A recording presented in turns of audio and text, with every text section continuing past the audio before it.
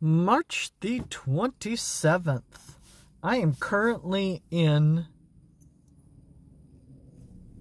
Where am I? I'm gonna have to look on my logbook. I forgot where I'm at. Oh my goodness, I'm so bad.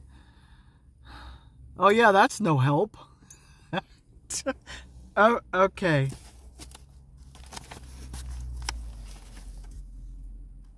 There's more than one way to figure out where I'm at. Oh, Terrell, North Terrell, North Carolina. I just delivered.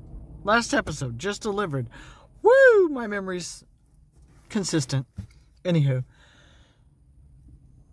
I'm about to take the girls to Five Guys for a meal, and I thought I'd call my next customer to let them know I'm on my way for pickup, and they're out of business. this is gonna be another one of those you just show up and get your unit. Sounds like, and if you want customer service, you got to email them. And I'm like, okay. Uh, the the business itself is going out of business, but they are being taken over by Camping World, and nobody's answering the phone. So it's a four hour drive. I'm just gonna show up.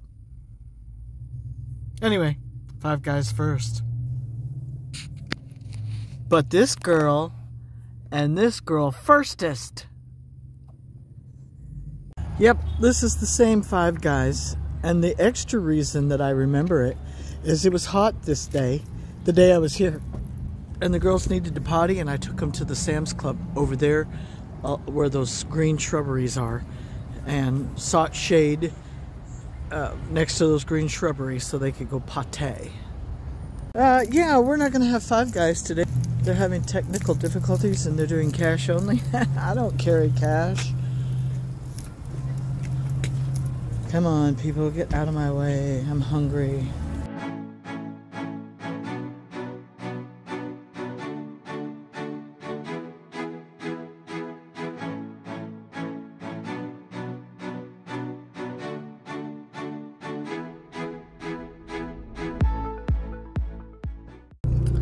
Alrighty, folks, I made it to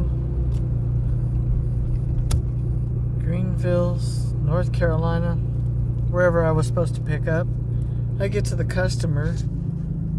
They are open, they are in business. They're transitioning over to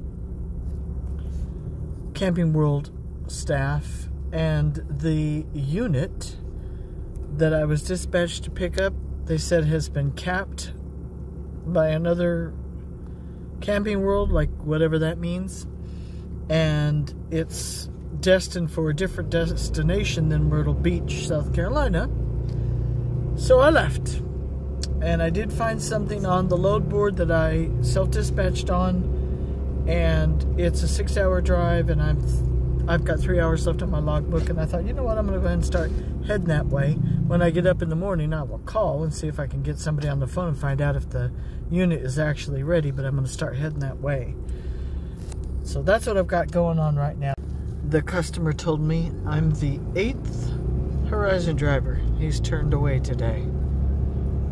Some kind of mess up about who's planning the loads, who's scheduling the loads. I, I told him, I said, don't worry about it. I said, it's just all part of the adventure.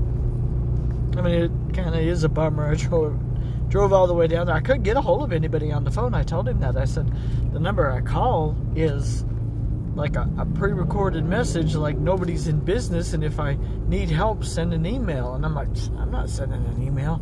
He goes, Oh, you should have just looked up the thing for the camping world. I'm like, I didn't know I was that that was an option. I mean, the phone answers for a different business, kind of sort of maybe like a camping world. I, it's not my job to try to figure out how to get a hold of people when it sounds like they're going out of business. Uh, this town is so cool. Wherever I'm at, got these little these little doodad machines that are kind of like scooching around all over town. Do, do, do you see it? This little, this little right there? They're all over the place. I guess they're little delivery doodads.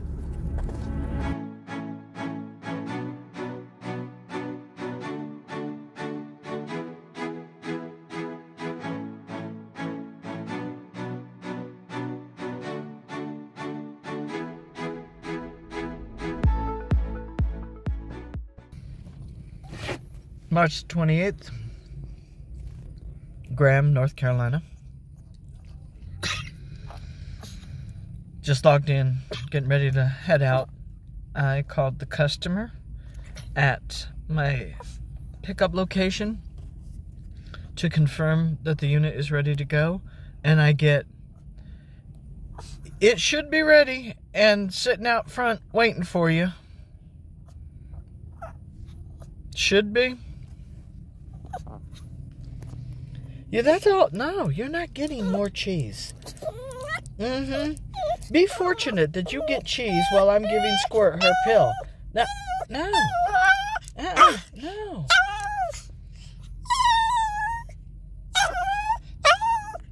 Whatever. Let's hit the road. Let's get to work. Squirt's freezing. She's over there shivering. We need to get the truck running and get the heat going. You're not listening to me. You're not listening to me. Why do I feel like I'm talking to the wind? Alright. Little turd. You a tud. Okay. Anyway, we're going to head on down. I've got... Let me check the mapping program. I didn't even look. I think last night when I looked... It was like, I still had a couple more hours of drive time left. I, I really don't, I don't remember. My bad. Two hours, 57 minutes. So I still have three hours to go. Let's do it. That's what, that's what they pay me the big bucks for. Oh, I forgot to mention. Also, my traffic manager called me this morning. I said, Did you get my email? She says, I'm reading it right now. So I, I told her what was going on, and I told her it's just, it's a crazy mess over there. So uh, she's going to leave me dispatched on the load because she wants to try to get me some compensation pay for driving down there anyway. And so, but I, I mean, I'm already dispatched on another, I already dispatched myself on another load. Stop. They're allowed to be there. I, you're so bossy. A little bossy bean. Anyway, um, I just uh, took the time to kind of just even chat with my traffic manager. I've never really talked with her before. She's she's new for me, and uh, we had a nice conversation. I told her, I said, I'm not a very patient person. I said, you may not know this about me. She goes, yeah, I know it. And I went, oh, okay. I'm like, mm, I don't like sitting when I'm on downtime, I'm on downtime. But when I'm on when I'm working, I want to work. so we both laughed about it. I'm like, yeah, I'm not a I'm not a patient person. So I told her, I said, look, if this this next load doesn't fall through, I'm dead heading back up to Indiana because I've got something I need to do on Sunday, and I said I need to get back up there anyway. So I'm not a very patient person.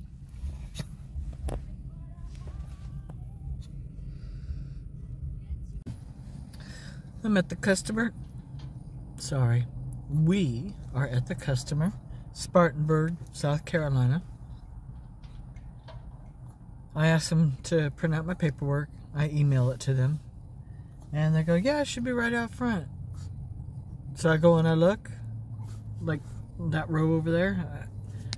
I go back in the building and I'm like, um, where am I supposed to find the unit at? It should be out front. Along that row off there? Yeah. No, it's not there. Well, it was. So they did some calls. And somebody's supposed to be bringing the unit out, but I've been waiting here a bit, so uh, I, I, I really don't know what's going on here. My mentor assured me that these people are spot on and they do good business. But I'm still waiting. I mean, we are still waiting.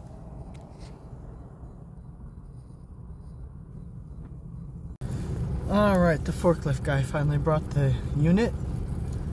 And I was walking in to the building to check out the bathroom decorations and kind of hang out like, hint, hint, I still don't have my unit yet.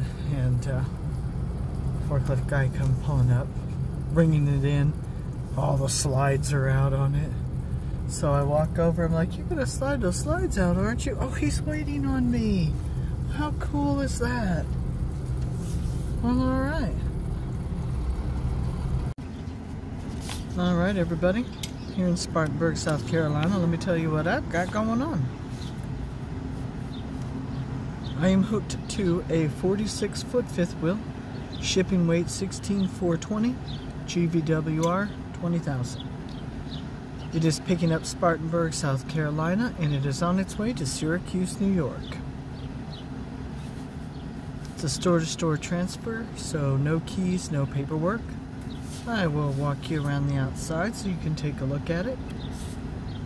And then we're ready to go because I have already submitted my pre-trip pictures and my logbook is up to date. And I might pull over to the edge of the parking lot so the girls can potty one more time. It's pretty warm here.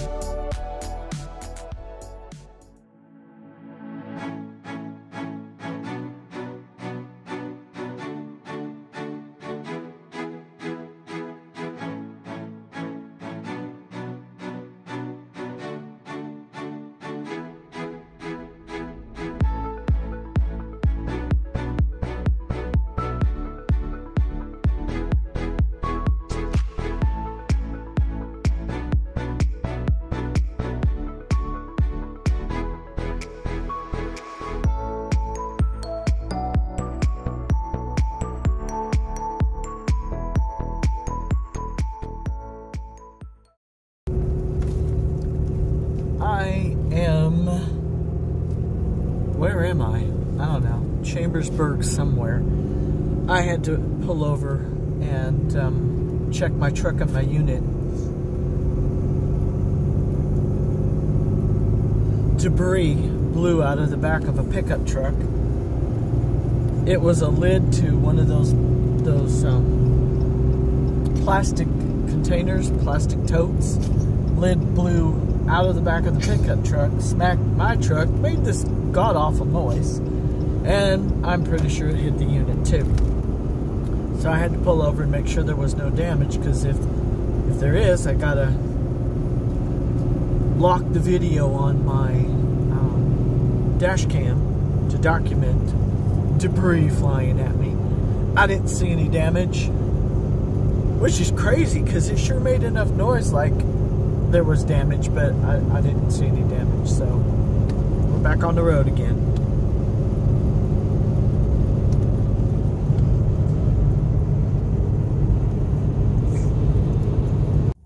Alrighty, folks, the unit is dropped, and I have submitted my post trip pictures here in Syracuse, New York, at the customer. And I've plotted my course to go grab a bite to eat and then I'm going to come back because uh, nobody was here to sign my paperwork. And um, they open up again at 9 a.m. for receiving but I'll probably bug them sooner if their door is open but there it is all set